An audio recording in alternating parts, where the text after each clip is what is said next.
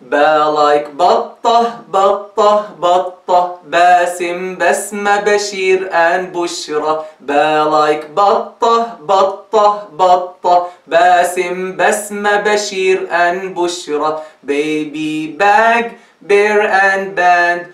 All of these words start with ba. Baby, bag, bear, and band. All of these words start with ba. This is the second letter of the Arabic alphabet. The name of this letter is ba. It's very easy. Ba. And it sounds b. B. You all can do it, right? B. Try b. B. Ba like Basim. B like Bismillah.